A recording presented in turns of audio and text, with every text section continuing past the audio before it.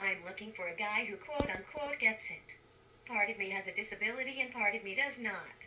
Mentally, I am like every other 42 year old small. The other day, this dude got pissed off at me because I wouldn't talk on the phone. Fucking asshole. He is a good example of a guy who does not fucking get it seriously, though not everyone is the same, and if we would accept each other's differences, the world would be much more peaceful.